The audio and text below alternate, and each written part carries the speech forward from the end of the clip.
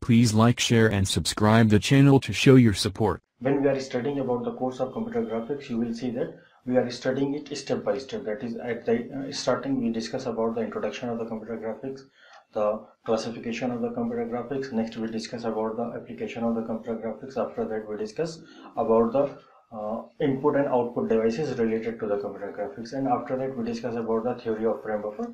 That is how the images are stored. The next thing we started about the graphics algorithm. That is how we can plot the uh, images from the mathematical equation to the on the screen. So everything we have discussed that is we discuss about the uh, how we can plot the images. That is that is up to that point.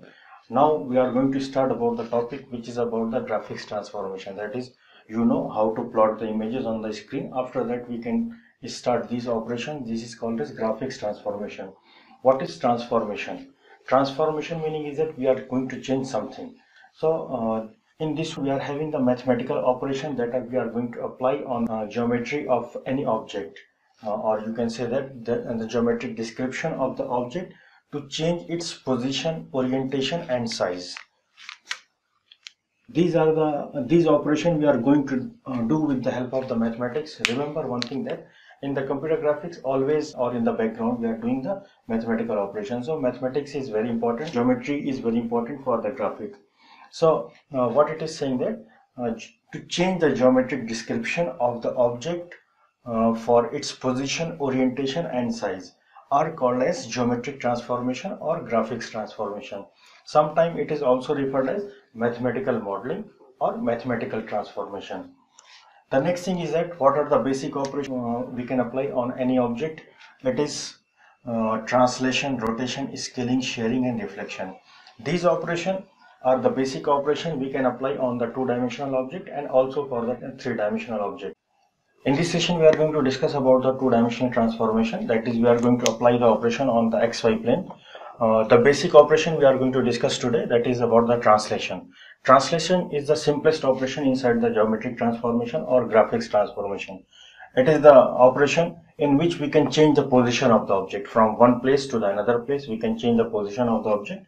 And how can we will do? Suppose that this is the initial object. Before translation after translation we can change the position of the object how we can perform this operation on the computer screen. To display uh, this operation we will use the pixel uh, only. That is we will apply this operation on the pixel because it is not possible to apply the complete trans uh, translation at this object at one time uh, for description purpose only. Because in this object because this is the triangle and it is a uh, it is a polygon and maybe it is having 100 pixel or 1000 pixel so it is not possible to identify uh, that is how many pixels are inside this uh, this polygon or this triangle. Uh, because this is not only the three vertices this one this one and this one. Uh, this is not correct. Because this is polygon. Polygon meaning is that we are having multiple uh, pixels from this point to this point this point to this point and all the uh, polygon is filled. So uh, it is having um, maybe 100 of pixel or maybe 1000 of the pixel. That is the part of the polygon algorithm or polygon generation algorithm so it is not possible to apply the translation at one time on this one. But in the uh, computer or uh, what the graphics processor will do we will uh, we will show the operation only for the single pixel. And that operation will be applied for all the pixel at this place at one time in the graphics processor and it will be translated and it will translate the object at this place so we will see uh, the operation only for the single pixel not for the complete object at one time. But the same operation we will apply on the complete object on the graphics processor while translating the object.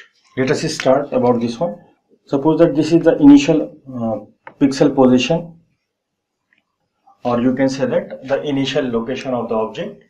Uh, this is we are applying only for the single pixel. Suppose that this is xy this is the initial position of the object and after applying the translation distance that is t t for tx and ty that is tx representing the translation distance for the x direction and ty is representing the translation distance with respect to the y direction. So after translating maybe the object location or pixel position is this one. So we move this position this, this pixel position from this place to this place so this is the new pixel position. The new pixel position is x dash y dash. So how can we represent uh, this thing with the help of mathematical operation? Because we need to represent everything in the graphics with the help of mathematics.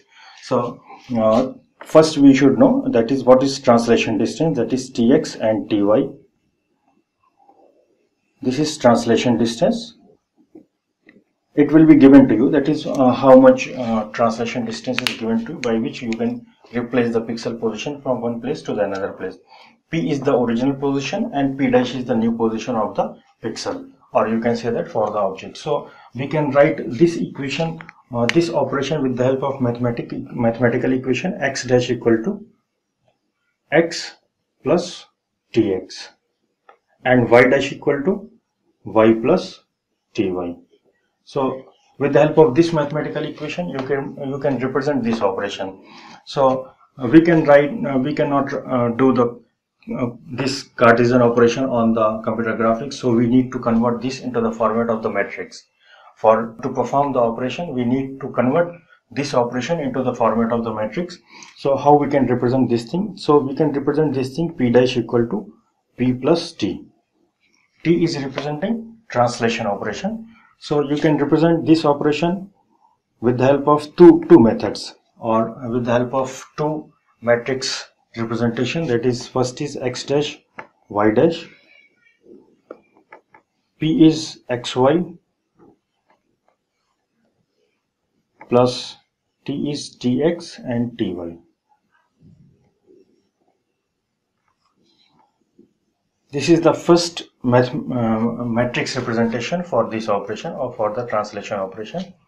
When you are going to calculate the value, uh, this is the mat, uh, matrix addition operation. So simply the column, uh, the uh, similar cells will be added to each other. That is the 1 1 will be added to the 1 1 of this one that is x plus tx and 1 2 will be added with the uh, 1 2 of the another matrix that is ty plus ty another representation you can uh, display this operation x dash y dash equal to xy plus tx ty so this operation we are representing with the help of 2 by 1 and this operation we are representing with the help of 1 by 2 matrix so both are correct. You can use any uh, any matrix for your calculation purpose. Now uh, we are going to solve the problem related to the translation operation or you can say the two-dimensional translation operation. In this problem what is given to us? Translate the object for the single pixel. The pixel position is given to us p 50 comma 50 with translation distance 100 comma 100 and we need to calculate the new pixel value for this pixel value after the translation operation. This is the equation or matrix representation for this translation operation. This is p dash equal to p plus t. This is xy and tx ty. This is quite simple operation. This is just uh, matrix addition operation. So you can perform this operation. The original pixel position is given to us 50 comma 50. This is the addition operation and this is tx ty. So this is translation distance for the tx is given to us 100 and for the translation distance for T1 is given to us 100 so when you will go for the matrix addition operation the same cell will be added to the same cell. That is 1 1 for the first matrix will be added to the 1 1 of the second matrix. So we need to add this thing that is 50 plus 100 and the next same thing same thing 1 2 for the uh, this one uh, sorry 2 1 for the uh, first matrix and 2 1 for the second matrix. So this will be again 50 plus 100 so the new pixel value will be 150 comma 150 that is after translation the old pixel is given to us 50 comma 50 after translation you will get the pixel value 150 comma 150 this is the solution for this problem. This is the simple operation but this is only for the one pixel. It is represented only for the one pixel. But when we'll, we will apply the complete translation for the complete object. So in this case this operation will be applied to the all pixel. That is maybe if it is polygon suppose that for the square. So if this is the plane so maybe inside this one we are 100 we are having 100 pixel 1000 pixel. How many pixels are there we cannot uh, calculate because it depends upon the algorithm polygon algorithm. So based upon that one how many pixels are there? It is already this structure is already stored inside the frame buffer. Next when you will we will apply this translation operation it will be translated to the another position. That is first the initial image the starting image will be stored inside the frame buffer. Then after we will apply the this translation operation and the new pixel position or the new image the new pix, uh, picture information will be available to the new frame buffer for this operation. So this is about the translation operation